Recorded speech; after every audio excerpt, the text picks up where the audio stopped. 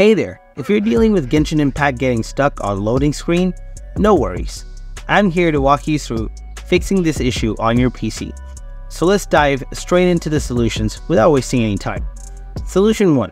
Repair Genshin Impact. Open Genshin Impact Launcher, then click on the hamburger icon near the launch button. Select Repair Now. Click on Confirm to initiate the repair process.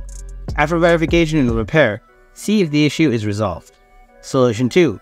Whitelist Genshin Impact on Windows Firewall.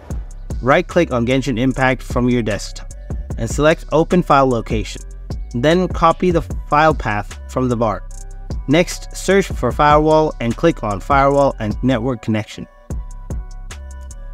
Then click on Allow an app through Firewall. Then on Change Settings.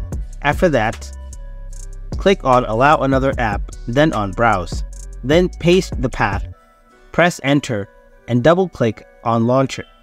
Then click on Add, check these necessary boxes. Now, do the exact same thing for Genshin Impact in the Genshin Impact game folder.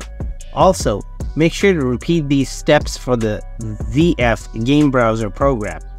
Locate in the plugins folder inside the Genshin Impact folder within your Genshin Impact game folder.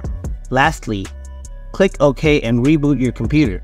Check if the error persists after the restart. Method 1. Updating from Windows Update. Open Settings, then click on Windows Update, then click on Check for Updates.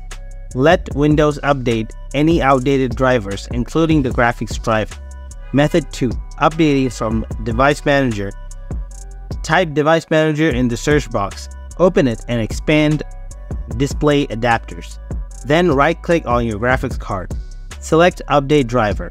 Then click on Search automatically for drivers and let it do its magic. Method 3. Updating from the manufacturer's website. Visit the graphics card manufacturer's website, download and install the latest graphics driver. Reboot your computer and the issue should be fixed. And there you have it. Troubleshooting Genshin Impact loading screen issues made easy. If this video was helpful, give that like button a smash, and if you're still stuck, drop a comment and I'll do my best to assist you. Thanks for tuning in.